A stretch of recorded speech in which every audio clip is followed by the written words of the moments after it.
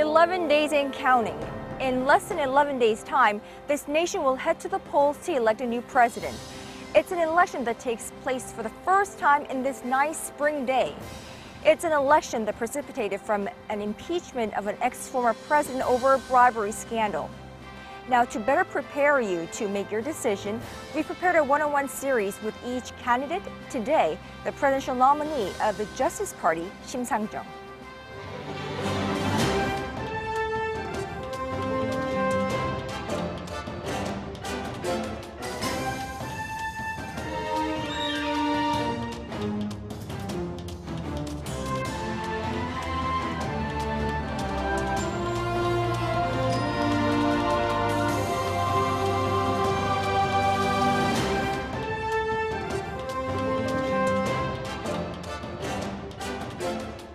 Um, Shim Sang-jung, presidential nominee for the Progressive Justice Party running in South Korea's 2017 presidential elections. Thank you so much for squeezing your time out of your busy, busy schedule for us today.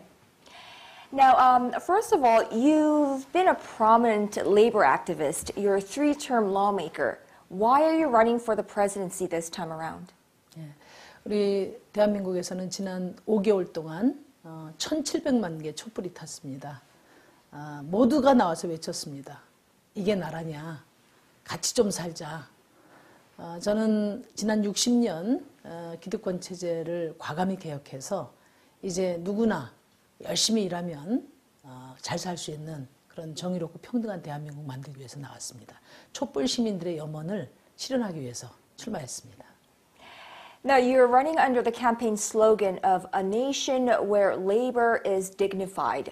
What is a country where labor is dignified? 예, 어, 우리 대한민국은 산업화 30년, 또 민주화 30년, 60년 동안 정말 쉼 없이 달려왔습니다. 그래서 세계에서 10위권의 경제 대국이 됐고, 또 60년 동안 어, 1인당 국민소득이 400배나 아, 튀었습니다. 아마 이런 고속성장은 세계에서 지금까지도 없었고, 앞으로도 없을 겁니다. 그런데 중요한 것은 우리 국민 대다수가 행복하지 않습니다.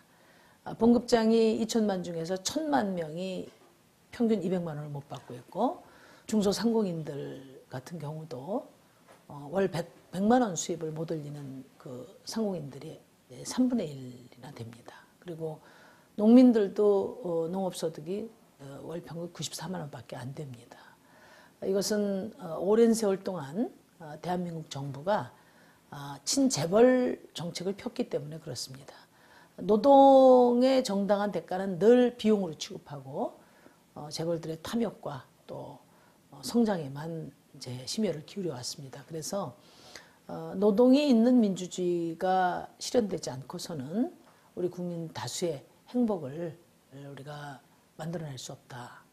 저는 어, 무엇보다도 60년 재벌 공화국을 개혁하고 어, 비정규직 없는 사회 또 우리 청년들 질 좋은 일자리가 보장되는 그런 대한민국 만들겠습니다.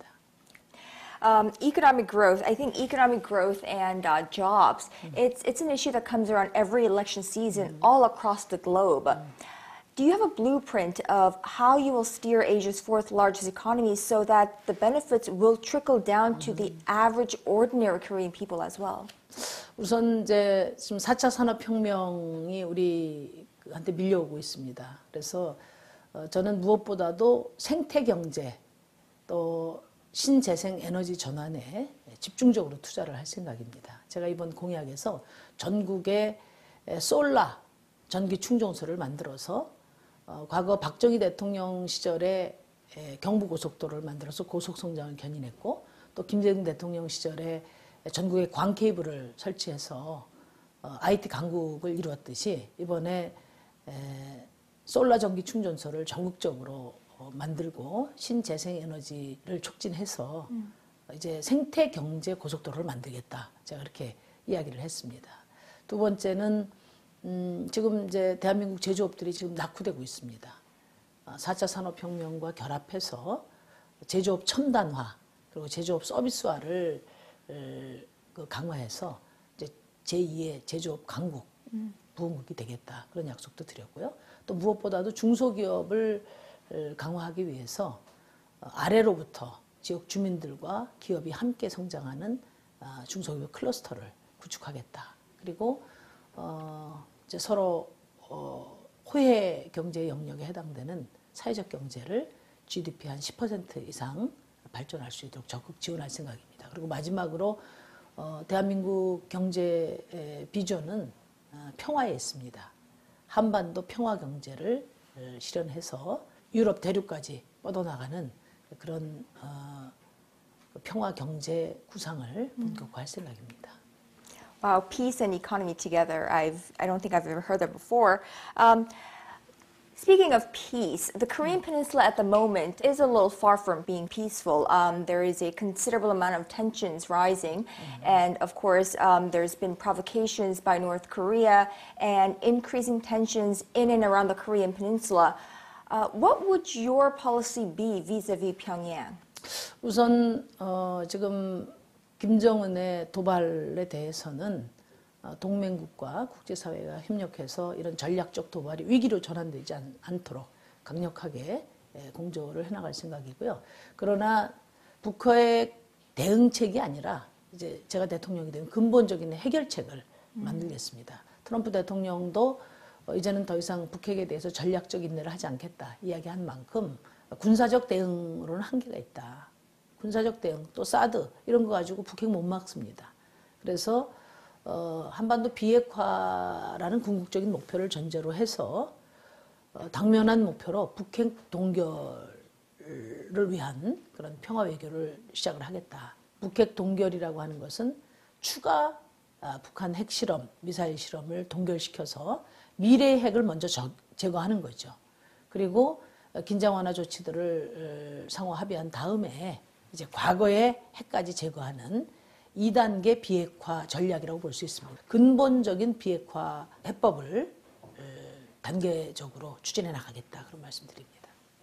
Now, what about on the diplomatic front? South Korea isn't in the best situation in the diplomacy front either. Um, there is Donald Trump in the U.S. Uh, he's a very different leader from the last president and seemingly with a different approach to North Korea.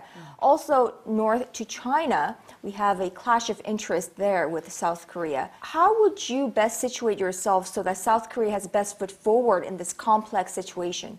어, 지금 음, 남북 평화 통일 이 한반도 문제는 이미 국제적인 문제가 되었습니다. 그리고 또 이 한반도 문제에 대해서 가장 큰, 어, 큰 손은 미국과 중국입니다. 그런데 이 미국과 중국 사이에서 어, 눈치 보기 외교 또는 줄서기 외교 어, 이런 외교로 지금 어, 주변 국가의 외교가 파탄난 음, 상황이다. 좀 가장 중요한 것이 한반도 문제를 의제로 하는 자리에 우리 대한민국의 의자가 없습니다. 적극적 평화 외교라고 하는 것은 어, 그런 국제 무대에 우리 당사자의 의자를 분명하게 놓겠다. 새 판을 짜겠다. 하는 말씀 드리고요.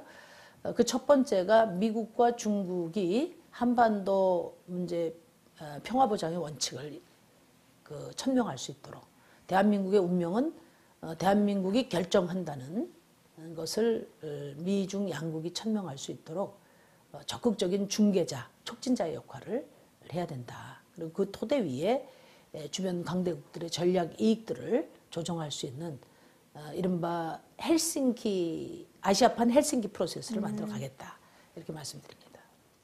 All right. Uh, my final question. It's a common question that I've been asking all candidates. Mm-hmm. Why does the Republic of Korea need Shin Sang-jung mm-hmm. as president in 2017? 어, 지금까지 우리 대한민국은 투표를 할 때 될 사람 밀어주자 이런 경향이 많았습니다. 그런데 어, 지금까지 될 사람 밀어줘서 대한민국 어디로 안내했습니까? 또 대한민국 얼마나 바뀌었습니까? 한번 잘 따져보시기 바랍니다.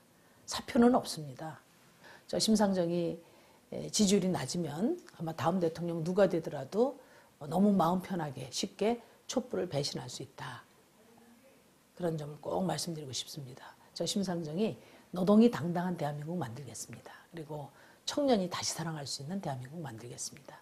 내 삶을 바꾸는 대통령 심상정 전폭적으로 성원해 주십시오. 감사합니다. Well, thank you, and best of luck to you, Shim Sang-jung, in your race to the presidential office. Thank you so much for this interview. 네, 감사합니다.